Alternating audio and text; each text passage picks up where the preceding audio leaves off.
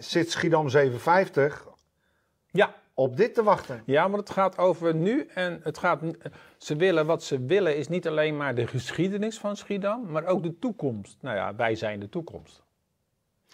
Qua performance. Ik bedoel van, het, is, het is een heel andere performance dan wat gebruikelijk is. Dat is een nieuwe performance.